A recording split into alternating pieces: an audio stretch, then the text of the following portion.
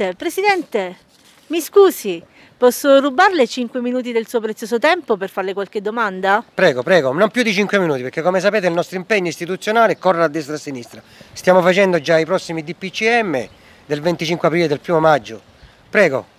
Per prima cosa mi dica come sta andando la vendita delle mascherine? La vendita delle mascherine sta andando benissimo. Stiamo vendendo tantissime mascherine, pacchetti da 50, pacchetti da 100, quelle P2, P3, P4, abbiamo tutte le categorie. Giustamente li, li, stiamo consumando tantissimo perché la gente la mette ovunque, in riva al mare, quando guida in macchina da soli, quando camminano da soli, in casa, nelle terrazze, nei condomini, perciò va bene che queste mascherine le mettono. Tante donne non fanno più la ceretta e i baffi, non, più, non mettono più i rossetti e gli uomini non fanno più la barba. Le usano anche quando vanno al bagno che magari fanno cattivi odori così fanno doppio, doppio uso, doppio sia per il covid sia per eh, l'odore che fanno nel bagno. Perfetto, cos'è previsto invece per il pranzo di Pasqua? Pranzo di Pasqua sempre nella tradizione giustamente, perché come sapete Pasqua è una tradizione, come si dice Natale con i tuoi e Pasqua anche con i tuoi. Cambieremo anche il proverbio perché come sapete non bisogna fare assemblamento e giustamente non si può fare più di 10 persone. Però io proporrei di farne 12 perché come sapete anche la cena dei 12 apostoli è da 12, i servizi di casalinghi, la tovaglia quando la compri, piatti, posati, bicchieri è tutto da 12. Non possiamo mettere due posti al bando, perciò massimo 12 persone al pranzo di Pasqua.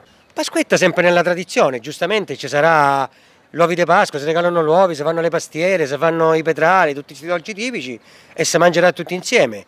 Giustamente anche negli uovi di Pasqua si possono fare dei regali alternativi chi mette le mascherine, chi mette un tampone ai fidanzati e poi chi, è, chi magari più mette un igienizzante oppure dice come si dice un diamante per sempre gli farai un vaccino per sempre un regalo amore mio ti amo ecco qua gli fai le cose giustamente fra fidanzati come fanno a non fargli l'uovo? Le regioni restano ancora colorate quindi chi può entrare chi può uscire? Le regioni sempre colorate, come sapete chi sono rosse, chi è arancione, chi è arancione rinforzato, c'è pure il rosso rinforzato che sta uscendo adesso eh, chi può uscire? Giustamente devi dare una prova, perché esci? Che devi andare a fare? Può uscire solamente il fidanzato, il marito, la moglie che vanno a regalare l'uovo di Pasqua al fidanzato o alla fidanzata. Perché se tu non vai, dici che vai a fare, allora devi avere una colomba in mano o un uovo di Pasqua in mano. Perché tu immagina che non vai a portare, che non porti l'uovo di Pasqua alla fidanzata, sai che, che guerra che succede. Perciò è meglio portare l'uovo di Pasqua alla fidanzata, così si può uscire alle regioni e anche le forze dell'ordine non ti dicono niente. Come sapete abbiamo 75.000 forze dell'ordine, i giorni di Pasqua e di Pasquetta che controlleranno e pattuglieranno gli androni dei condomini, le terrazze, le strade, tutto quanto. Senta, ma è vero che volete fare l'obbligo vaccinale con un uh, passaporto, una patente? Come funziona? No, non c'è l'obbligo vaccinale perché non si può fare. Come sapete ci sono i trattati europei, c'è il trattato Oviedo, c'è la Costituzione, c'è Norimberga, non si può fare. Si può fare però alcune categorie perché magari stanno a contatto col pubblico, obbligo vaccinale che non sarebbe poi un passaporto vaccinale, proporrei un foglio rosa, diciamo, un foglio rosa, chi è vaccinato va con quello che ha il vaccino, che ha la patente. Se tu, che so, ti sei vaccinato, sei prenotato, già puoi prendere la, la, patente e il foglio rosa lo puoi strappare. E poi come sapete ci sono gli sconti, 10% a chi ha fatto la prima dose di vaccino, 30% a chi ha fatto la seconda dose di vaccino. Perciò non sarà un uh, passaporto vaccinale, ma sarà un foglio rosa e poi una patente vaccinale. Perfetto. Si dice che darete anche il reddito di cittadinanza a tutti i migranti, è vero?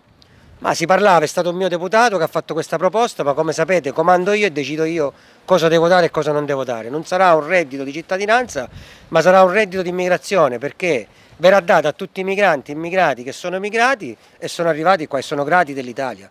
Non puoi dare un reddito di, di immigrazione a un immigrato che non è migrato e non è grato migrando, perciò penso di essere stato chiaro, non daremo questo reddito di cittadinanza. E poi lo equipareremo ai stipendi italiani, non daremo un reddito di cittadinanza come è stato dato agli italiani di 700, 600, 500 euro che non è accumulabile, ma daremo 1.300-1.500 euro ogni immigrante che sarà grato in base ai stipendi italiani, alla media dei stipendi italiani, perché come sapete non dobbiamo fare discriminazioni, deve essere dato a pari cosa e poi deve, può essere anche accumulabile, non che come il reddito italiano che lo devi spendere per forza, questo lo puoi anche accumulare o mandarlo ai parenti e ai paesi loro.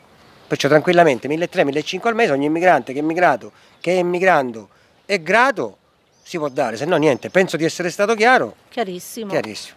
Va bene Presidente, la ringrazio, sempre Perciò, gentile. auguri di Pasqua, auguri di Pasquetta, come sapete abbiamo 75.000 forze dell'ordine, controlleremo tutto il territorio, barbecue e grigliate nei condomini, nei terrazzi, negli androni, divertitevi, buone feste a tutti, noi stiamo già in lavorazione per il DPCM del 25 aprile e del primo maggio, festa dei lavoratori, come sapete lavorate tanto, perciò grazie a tutti e al prossimo DPCM, grazie.